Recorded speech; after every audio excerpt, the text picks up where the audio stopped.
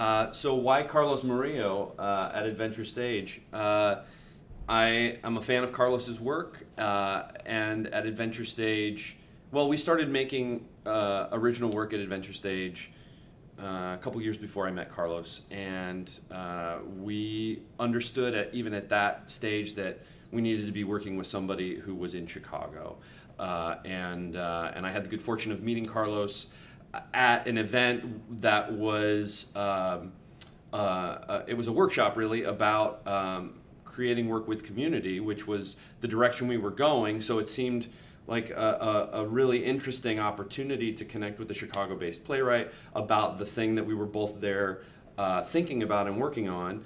And, um, and I think uh, Carlos has a, an amazing voice as a writer, uh, and we want to, and, and he writes really unique plays, and we want to tell really unique stories. We want to tell stories for young people and families that are um, that, that, that invite them to think critically about the world we're living in, and I think Carlos uh, does that as a as a playwright.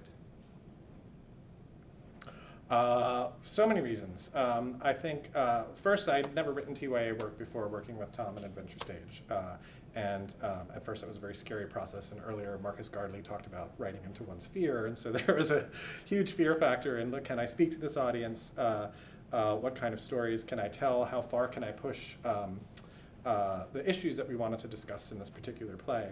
And, um, and I found in Tom a really awesome collaborator uh, someone who pushed me to think about storytelling in a different way than I had been used to, uh, but also allowed me to uh, speak in my voice uh, through the work. Um, I think also the, uh, the sense of a real engagement with the community and the world surrounding the community of the Northwestern Settlement Houses, which is where Adventure Stage is housed. And, um, and I know that you know, uh, we caught each other at a particular time where Adventure Stage was in transition in terms of thinking about the kind of work they wanted to produce. I'm always in transition about of the kind of work, work that I produce. Uh, and uh, the Mellon Grant gives us the opportunity to really uh, take what we started a few years ago with uh, the Project Augusta Noble that we created together and really uh, move it forward.